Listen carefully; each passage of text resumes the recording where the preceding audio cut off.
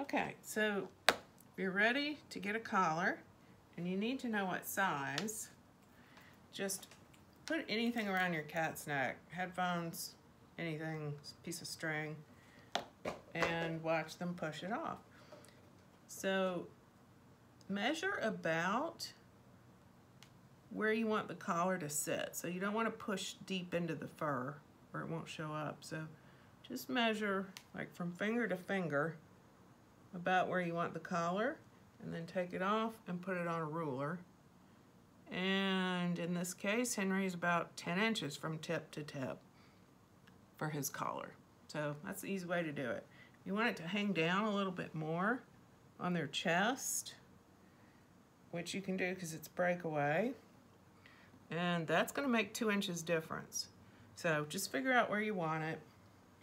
And remember, it's from the tip of collar to the tip of collar. So it would fasten. And here's an example, if it was tight,